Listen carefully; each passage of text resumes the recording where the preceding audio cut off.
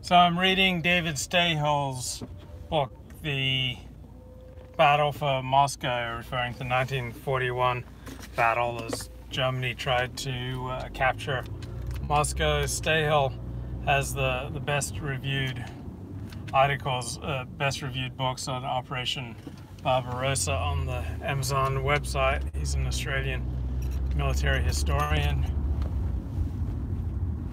And couple of weeks ago, I read his book on Operation Barbarossa, which concentrated on the first two months of the war.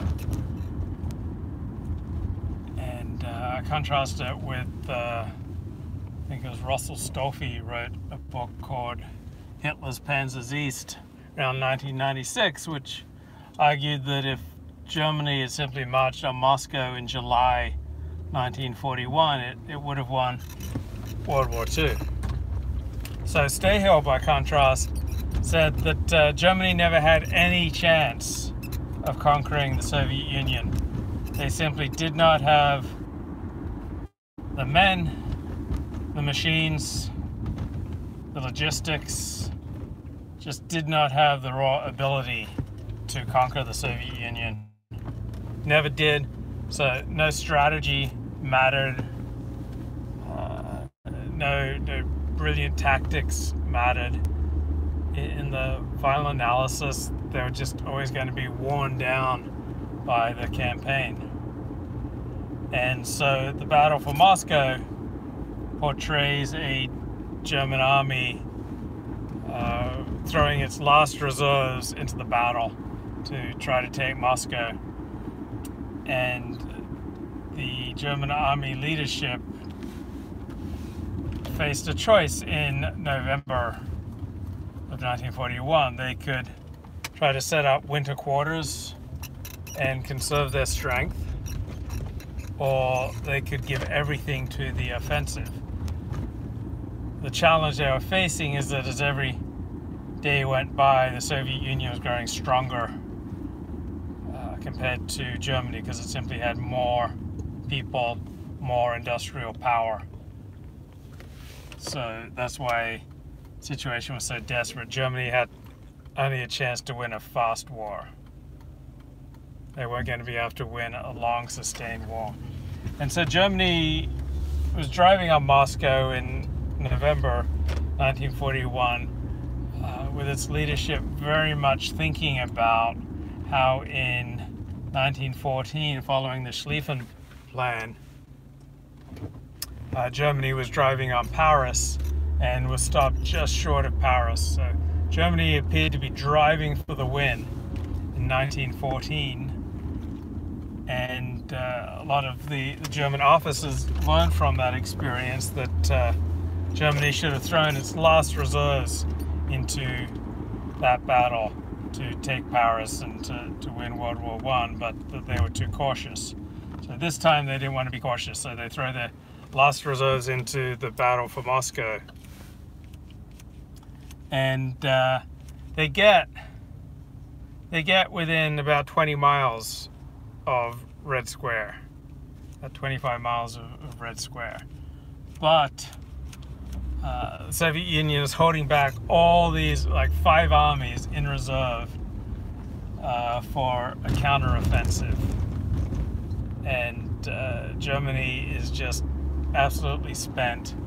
So they were able to roll up to the outskirts, the suburbs of Moscow, but they had no chance of surrounding Moscow and uh, they had no chance of actually conquering Moscow. So the literature, this the Battle for Moscow is referred to as a decisive event World War II, or like Germany was on the verge of seizing Moscow, but heroic defensive efforts by the Soviet Union uh, managed to stop Germany. Uh, in reality, Germany was all tuckered out.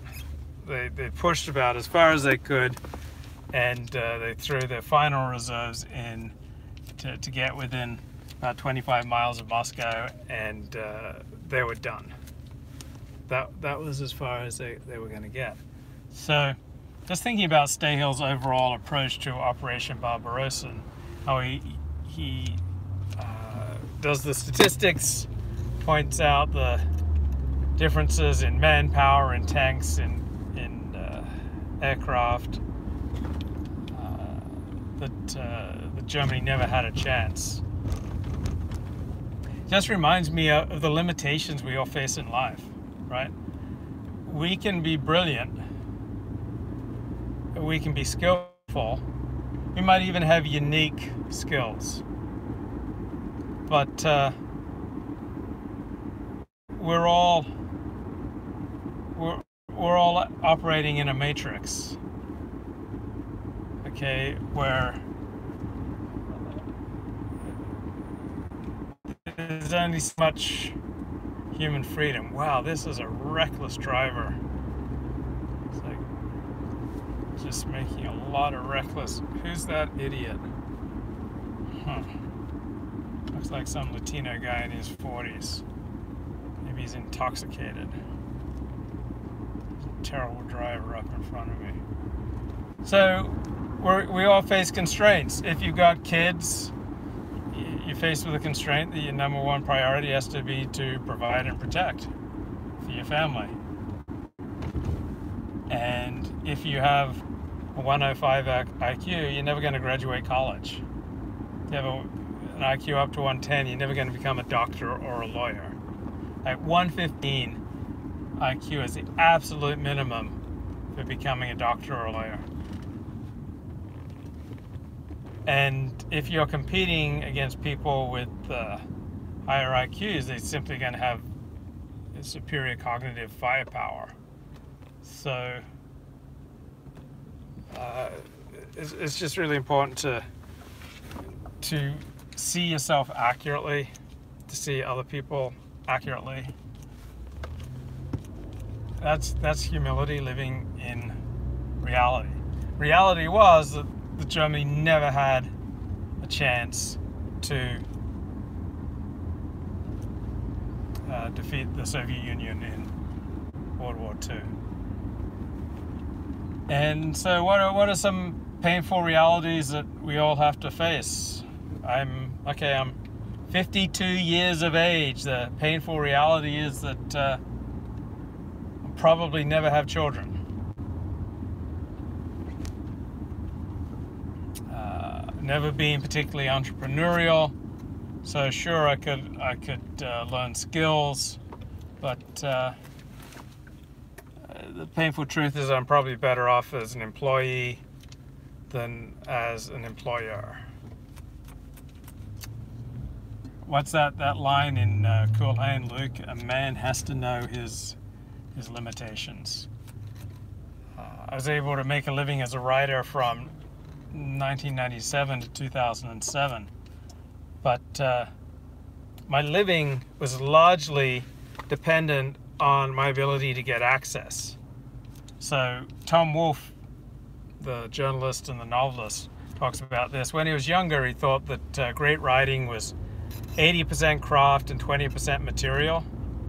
And then as he got older, he realized that great writing was 70% material and 30% craft. So, as a, as a writer, someone who's making his living as a writer, my living depended not primarily on my ability to craft stories. My living depended primarily on my ability to get access to where things were going on, where people could give me compelling information Uh, the size of my audience for my video streams primarily depends upon the people who I have on my show. Okay, if I if I had Donald Trump on my show, I'd I'd get tens of thousands of views. If I got Richard Spencer on my show, I'd have 400 live views. Uh, Greg Johnson, I'll get 200 live views. And so I can think, I can plan, I can prepare, I can develop my own craft. But in the final analysis, the size of my audience just uh, largely depends on the people I'm talking to on the stream.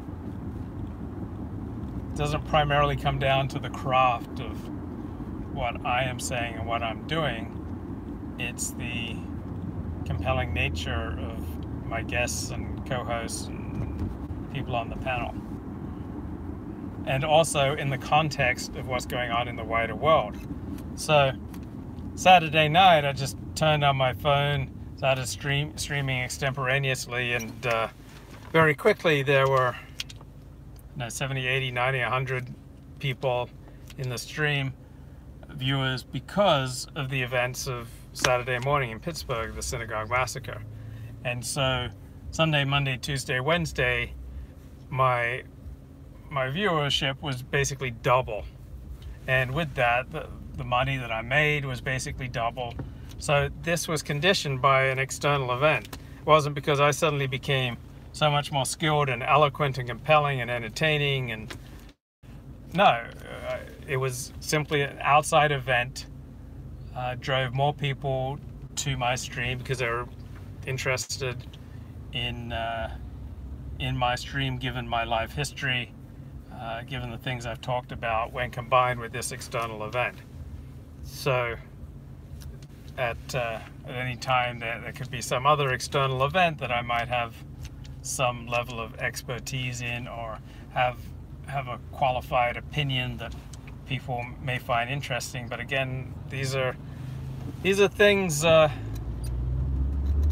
these are things external to me so of course I have an effect on the quality of my own streams. But uh, the outside world has a pretty big effect too, and there's a nasty, nasty accident that's just happened. Wow, on Pico Boulevard outside Fox Studios, but looks like a four-car accident.